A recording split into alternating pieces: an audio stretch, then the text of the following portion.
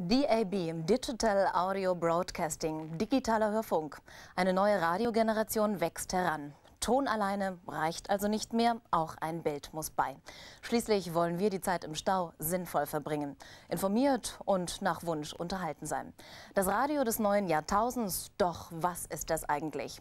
Was kann es, wie funktioniert's und was können wir davon erwarten? Punkt 9.45 Uhr ging DAB auf Sendung. Thüringen ist damit einen Schritt vorangekommen in Richtung Multimedia-Zeitalter. Der Mitteldeutsche Rundfunk ist an dem Projekt beteiligt, aus gutem Grund. Wer hier den Anschluss verpasst, der wird sich sehr schnell auf der Standspur der neuen Datenautobahnen wiederfinden.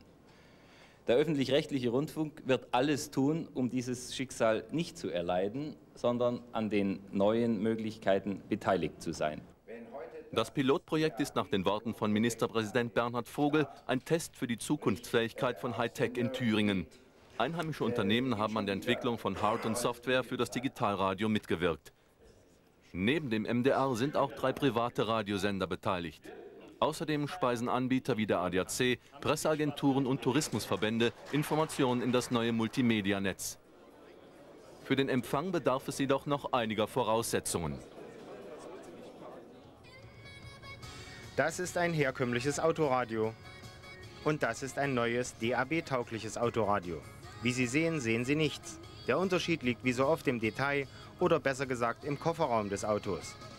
Für den neuen Service braucht man zum Radio noch ein digitales Empfangsteil und einen Rechner. Dann ist die Freude am digitalen Empfang fast komplett. Denn um all die zukünftigen programmbegleitenden Daten zu empfangen, ist noch ein kleiner LCD-Bildschirm nötig. So ausgerüstet ist bisher nur er, Olaf Stepputat, DAB-Projektleiter in Thüringen. Was kann das digitale Radio eigentlich?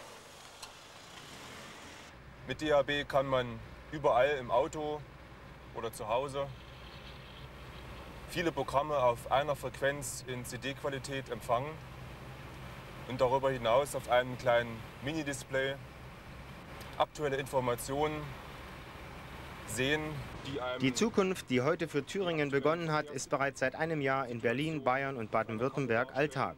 Dort ist es also möglich, über DAB Informationen abzurufen.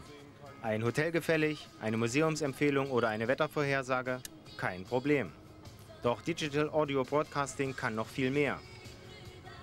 Rein theoretisch ist es möglich, Radiosendungen zu bebildern. Das heißt, Armin Hinze von MDR1 Radio Thüringen moderiert Ihre Lieblingssendung und Sie können sich sein Porträt anwählen.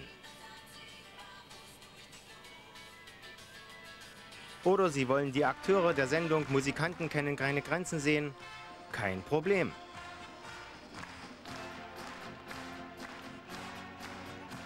Heute bereits möglich und für die Nachrichten des Thüringen-Journals fast täglich genutzt. Die sofortige digitale Bildübermittlung per D1 Mobilfunknetz. Die Fotos des Fotografen können nicht nur zum Computer des MDR, sondern bald auch direkt auf den DAB-Bildschirm im Auto übertragen werden. Man steht also im Stau und kann gleichzeitig den Unfall betrachten, der zum Stau geführt hat. Eine Vorstellung, mit der man sich hier nicht anfreunden kann.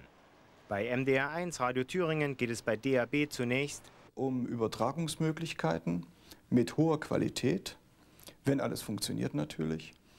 Und es könnte einmal sein, dass äh, DAB sowie UKW die Mittelwelle abgelöst hat und heute alle Leute UKW empfangen, dass DAB einmal UKW ablöst und wir eine viel bessere Klangqualität im Radio haben. Ob nun beweglich oder zu Hause, beides ist möglich. Mehr Qualität und mehr Information. Dafür sorgt DAB. Für die Fahrsicherheit kann nur Vernunft sorgen.